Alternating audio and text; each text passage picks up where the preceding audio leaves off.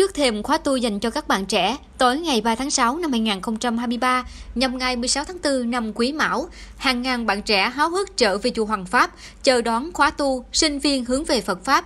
Sau khi đăng ký và nhận thẻ đeo, các bạn cùng vân tập về các khu vực giảng đường để đến với chương trình gặp gỡ và giao lưu cùng MC truyền hình, diễn giả, chuyên gia nghiên cứu về nhân số học, nhà văn Quỳnh Hương.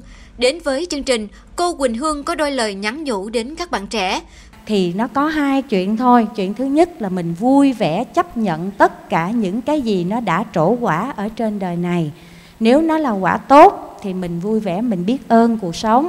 Nếu nó chưa tốt thì mình vui vẻ mình biết ơn là mình còn có cơ hội mình hiểu biết chuyện này để mình sẽ trả. Còn lại, từ giờ phút này trở về sau, mình ý thức là mình đang phải trồng tiếp cái cây cho những đời sau mình hưởng quả nè thì mình bắt đầu mình phải thận trọng hơn, thận trọng hơn trong cái cách mình ăn nói. Nhất là đừng tạo thêm những cái điều làm người khác đau lòng. Cái này rất là quan trọng. Thân người khó được, các bạn nên biết trân quý và tích cực gieo trồng hạt giống thiện lành từ thân, miệng và ý để hướng đến cuộc sống an vui. Sau đó, cô chia sẻ về các con số trong nhân số học để các bạn cùng nhìn lại, từ đó thay đổi tư duy, cách sống định hướng tương lai cho mình qua việc thực tập tọa thiền, sám hối lỗi lầm.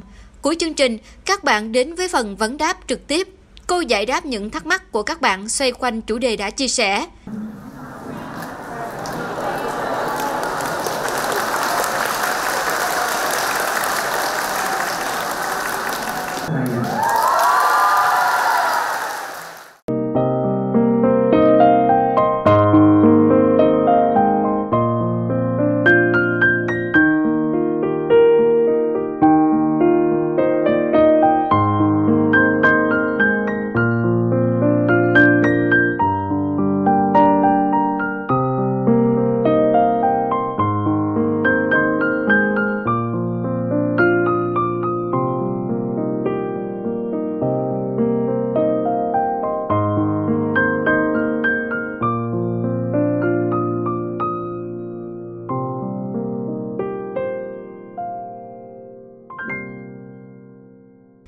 Ngày 4 tháng 6 năm 2023 nhằm ngày 17 tháng 4 năm Quý Mão, gần 2.500 bạn sinh viên thuộc các trường cao đẳng đại học trong và ngoài địa bàn thành phố Hồ Chí Minh đã về chùa Hoàng Pháp tham dự ngày tu, sinh viên hướng về Phật Pháp.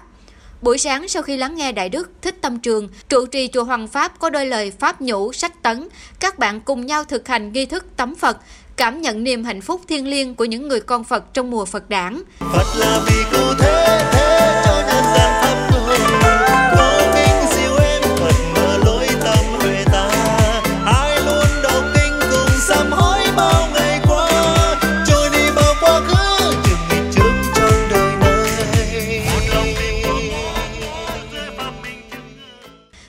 7 giờ 30 phút, các bạn bắt đầu thời khóa tụng kinh 8 điều, kinh từ tâm và tịnh tọa.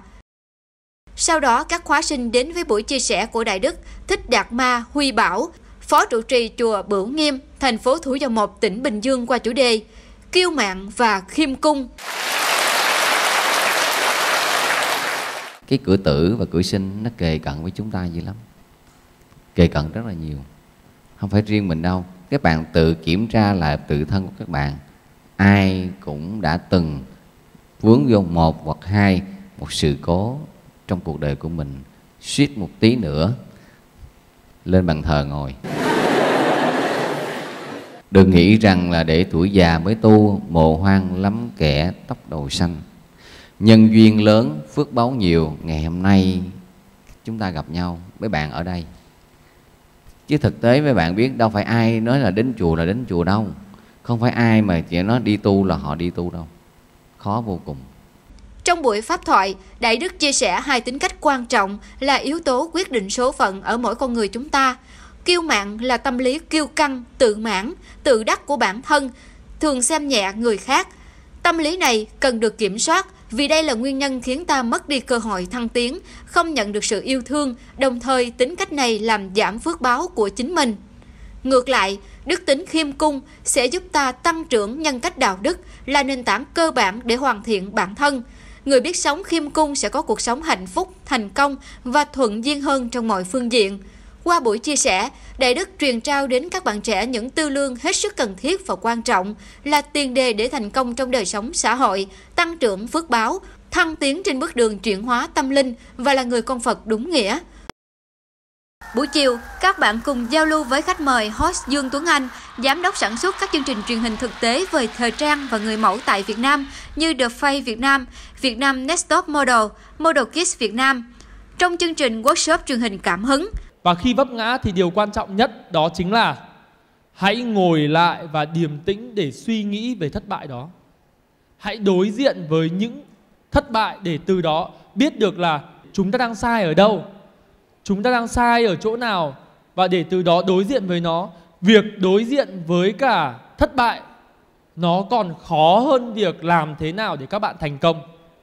Đến với chương trình, anh Dương Tuấn Anh chia sẻ câu chuyện về bản thân, một hành trình trai từ những khởi đầu khó khăn trở ngại đến những bước tiến chạm đến thành công.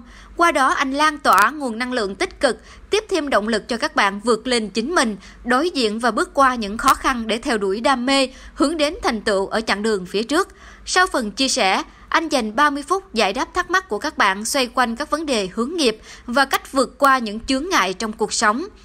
Ngày tu khép lại trong niềm hoan hỷ của các bạn trẻ. Trước khi ra về, ban tổ chức gửi tặng mỗi bạn một phần quà pháp bảo là sách Tịnh độ nhân gian, tuyển tập trong bộ sách Pháp vị của Hòa Thượng Thích Chân Tính.